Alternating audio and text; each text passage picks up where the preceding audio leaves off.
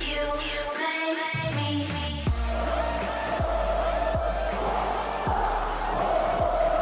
Fala galera, eu sou o Fabiano Bandeira e aqui no meu canal muito Botafogo de futebol e regatas.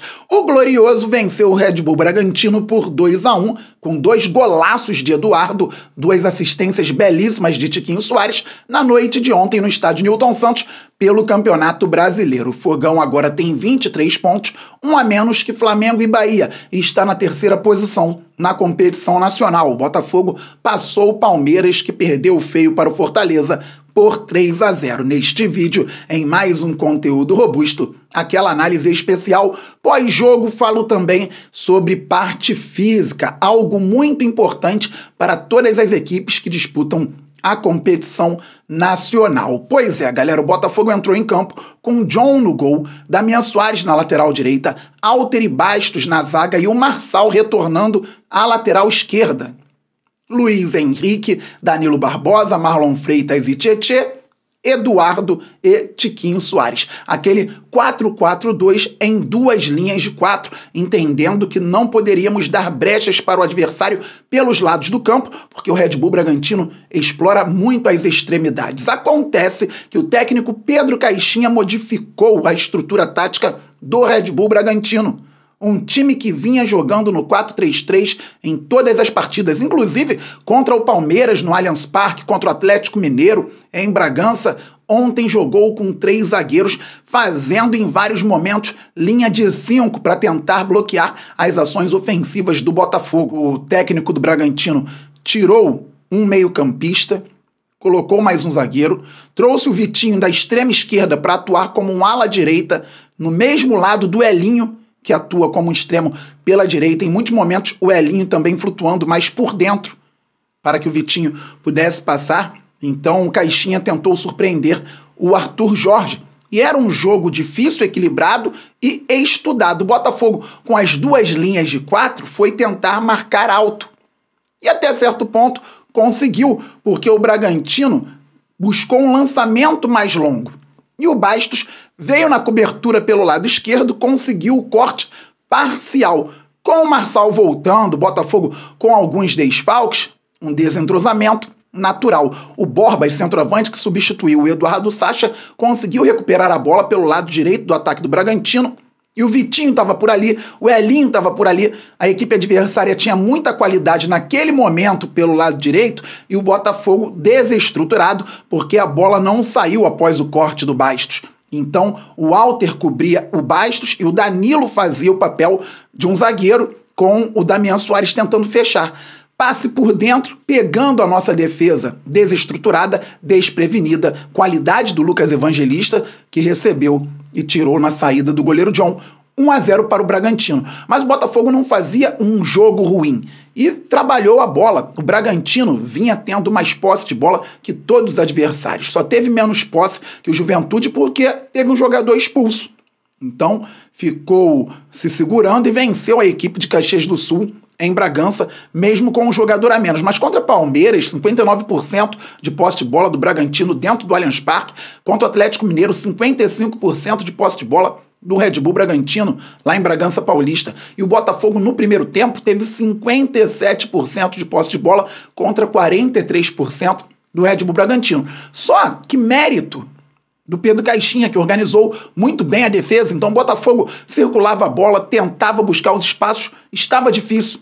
Aquilo que eu falei ontem no pré-jogo nem teve tanta possibilidade de acontecer, porque o Botafogo não encontrava o espaço nos funis, entre, por exemplo, o Luan Cândido e o Juninho Capixaba, entre o zagueiro pela direita e o ala pelo lado direito, linha de cinco, esse espaço fica muito pequeno.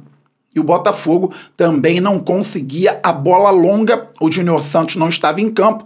E quando o Glorioso tentava, essa bola fechava um pouquinho, ou alguém, como foi o caso do Luiz Henrique, entrava em impedimento. Com o Botafogo circulando a bola do Marçal, passando pelo Eduardo, chegando ao Damian Soares, o lateral uruguaio fez um cruzamento para a área. E o Eduardo povoando a região como segundo atacante, o Tiquinho Soares atrapalharam a defesa do Bragantino, que cortou parcialmente. O Tietê brigou muito bem pela bola na entrada da área. A pelota sobrou para o Tiquinho Soares, que é Masterclass, galera. Joga muito. Pivô, passe para o Eduardo, que levou para a perna direita e tirou muito bem do goleiro Lucão do Red Bull Bragantino. Um a um e o Botafogo bem no jogo. Só que pouco depois, um lançamento longo, Botafogo dormiu, o John não saiu tão bem, ele foi fundamental na vitória. Daqui a pouco falo sobre participações importantes e impressionantes, mas naquele momento, no primeiro tempo, ele não saiu tão bem. Quase que o Bragantino fez o gol sem goleiro, mas o Bastos salvou na última hora. 1 a 1. Fim do primeiro tempo. Um jogo muito equilibrado, com o Botafogo buscando também. Tivemos mais uma chance na bola aérea. Infelizmente, o Danilo Barbosa não conseguiu cabecear da melhor maneira. Interessante que vendo o jogo de cima, deu para perceber que em alguns momentos o Botafogo fazia o 4-3-3 que também falei ontem aqui no canal. Dois laterais, dois zagueiros e alinhados no meio-campo. Danilo Barbosa, Marlon Freitas e Tietê. Alinhados mais à frente, Luiz Henrique, Tiquinho Soares e Eduardo. Só que na maior parte do tempo, duas linhas de quatro e o Eduardo mais adiantado com o Tiquinho Soares. O Bastos, zagueiro do Botafogo, se machucou no final do primeiro tempo, galera, e saiu. O Marçal foi para a zaga na segunda etapa, ele que já jogava bem na lateral esquerda, e o Cuiabano entrou na lateral. Então, no segundo tempo, o Botafogo, que já tinha muitos desfalques, foi a campo com John no gol, Damian Soares, Alter, Marçal e Cuiabano. Luiz Henrique, Danilo Barbosa, Marlon Freitas Tietê, Eduardo e Tiquinho Soares. Jogo equilibrado, mas o Botafogo tentando ser mais ofensivo e mais efetivo. Até que rolou uma falta um pouco à frente da linha do meio-campo, mas pelo lado direito. O Marlon Freitas foi perspicaz, bateu rapidamente para o Damian Soares, que estava aberto, mas o Marlon não ficou parado, ele se projetou. Como o Botafogo não tinha o espaço nos funis para atrapalhar a vida da defesa do Red Bull Bragantino e não estava conseguindo com a bola longa, utilizando o fato do adversário jogar também com a linha alta, o Glorioso fez o gol utilizando apoios. Marlon Freitas deu o passe para o Damian Soares, se projetou e por isso o Damian encontrou um ótimo passe para o Eduardo, que fez um primeiro pivô marcado de costas para o adversário, dando de primeira para o Marlon, que encontrou muito bem o Tiquinho Soares na entrada da área. Aí o Tiquinho deu aula.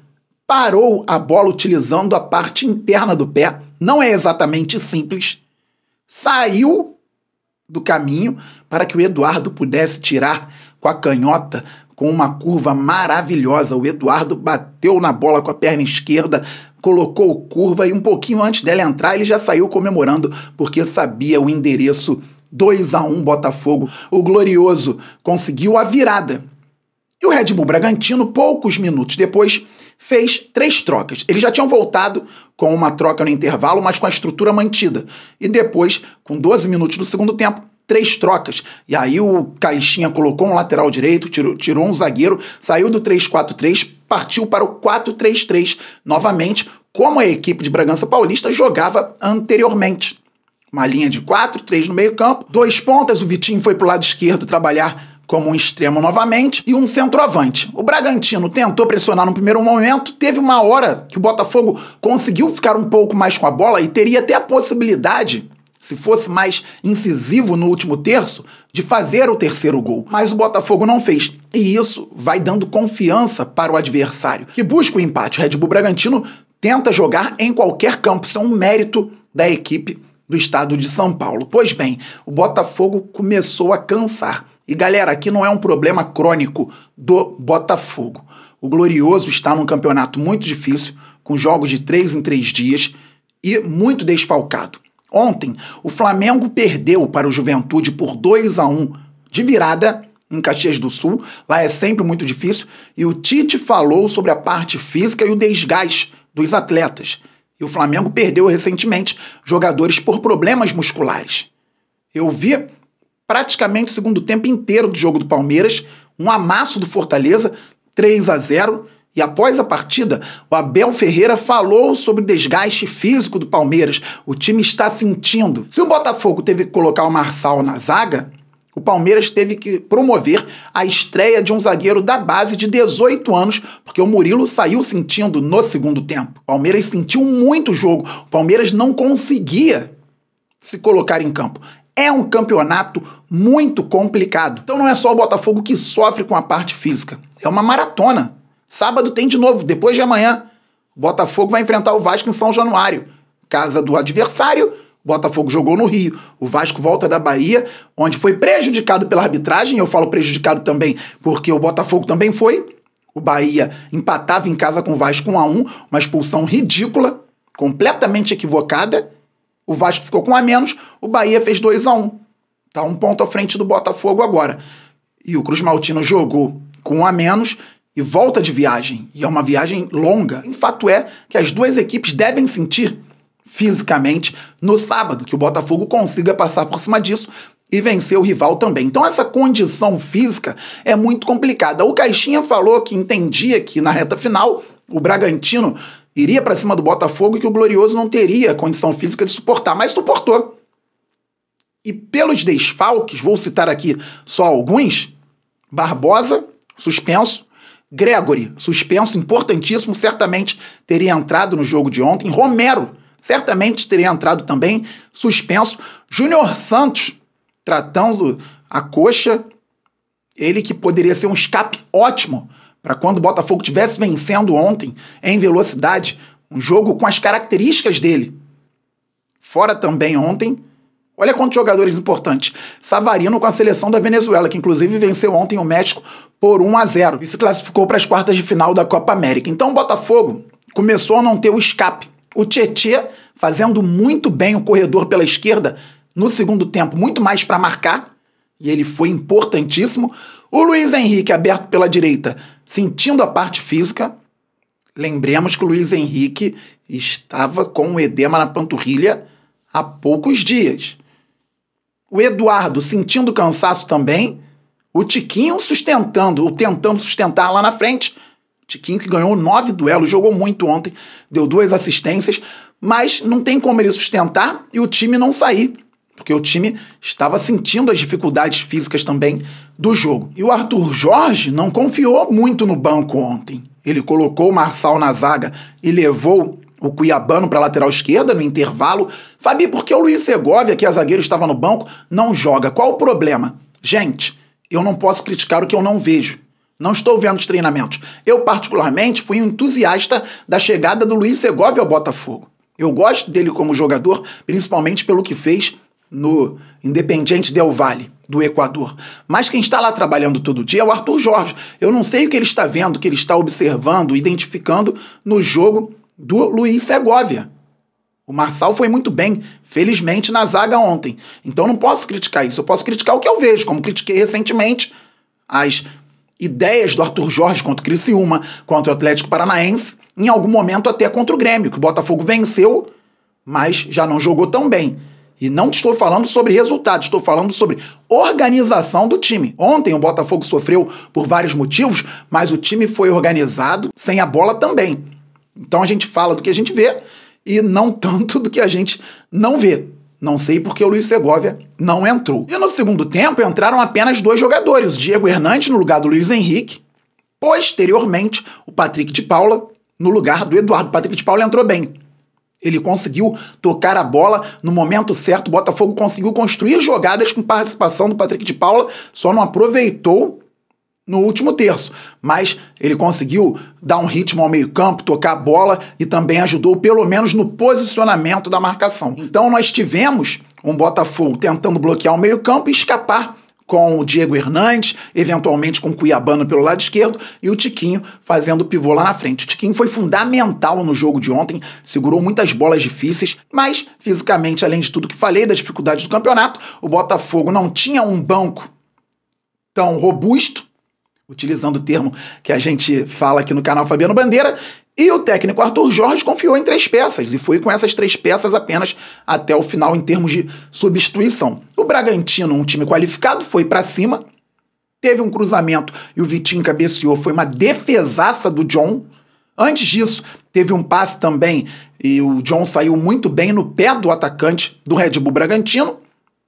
E um outro lance menos perigoso, ah, um contra-ataque. O Botafogo tinha uma jogada excelente. O Cuiabano encontrou muito bem o Diego Hernandes livre.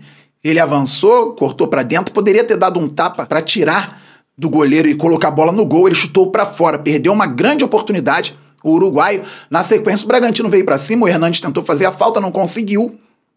Então, um passe, chute e o John tirou como um goleiro de futsal. Foi muito bem o John ontem, principalmente no cabeceio do Vitinho. Defesaça, uma defesa espetacular, de fato, impressionante, uma das principais, se não a principal, do Campeonato Brasileiro até aqui. Mas no geral, foi uma ótima vitória do Botafogo.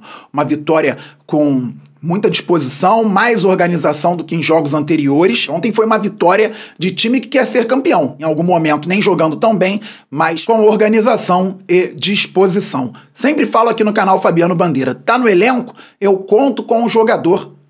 Em algum momento ele pode contribuir. Fabiano, não conto com o Marçal. Já falei isso aqui no canal Fabiano Bandeira. Em algum momento ele pode ser importante. E ontem ele estava bem na lateral e foi ainda melhor na zaga. Fundamental para a vitória do Glorioso. Eu conto com o Eduardo. Falei ontem na redação do Bandeira ao vivo. O Eduardo, jogando como segundo atacante, foi mal nas últimas partidas, mas readquiriu ritmo. Então, pode ser que hoje, no caso ontem, ele vá muito bem e com o Tiquinho fazendo dupla. E foi muito bem. Decisivo para a vitória do Botafogo, mais uma vez, como foi em outros momentos, mesmo em 2024. E o Tiquinho Soares é um absurdo de jogador. Craque da pelota, sabe muito bem o que faz. Ontem, mais uma vez, foi importantíssimo na vitória do Glorioso. Beleza, galera? O que tem hoje às 15 horas e 30 minutos ao vivo, redação do Bandeira por aqui. Então, todo mundo presente na nossa live especial. E todo mundo também deixando o like neste vídeo, se inscrevendo no canal, trazendo novos inscritos, porque vamos passar logo dos 51 mil. Depois vamos muito além, pois o Glorioso é gigante, todo mundo ativando o sininho para ninguém perder conteúdo aqui no canal Fabiano Bandeira. Estamos muito juntos, saudações alvinegras, aquele abraço, valeu, fui, fogo!